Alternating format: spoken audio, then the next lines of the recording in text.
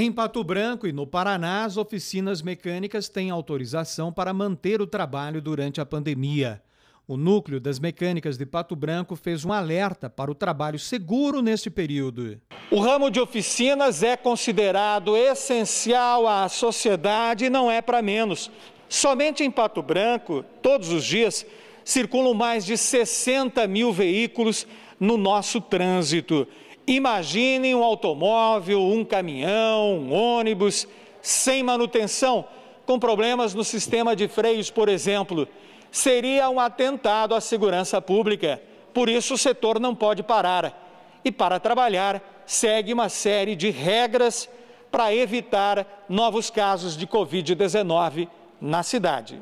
Renato Zanco, coordenador do núcleo, destacou ser muito importante a observação das regras de segurança neste momento.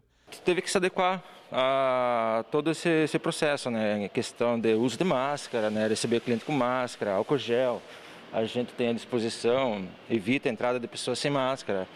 Ou a questão de carros, a pessoa se comunica, a gente vai buscar o carro, traz, leva de volta, né? faz a higienização necessária para que evite esse contato. Né? Seguir as recomendações da saúde são vitais para evitar que o aumento do número de casos force as novas medidas que comprometam o trabalho também neste setor.